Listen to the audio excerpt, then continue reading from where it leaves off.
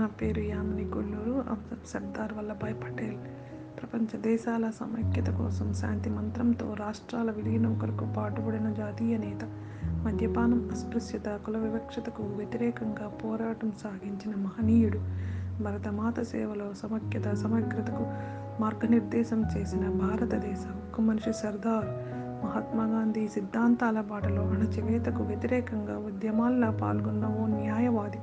వాళ్ళు పెరగని స్వాతంత్ర్య పోరాటం ఐక్య భారత్కి పాటుపడిన ఎన్ని విమర్శలు అవాంతరాలు ఎదురైన చెక్కు చెదరైన ఆత్మవిశ్వాసం లక్ష్య సాధన విధి నిర్వహణలో తనదైన విలక్షణ వ్యక్తిత్వం గల పటేల్ ఆధునిక భారత నిర్మాత ప్రజల హృదిలో చిరస్థాయిగా నిలిచిన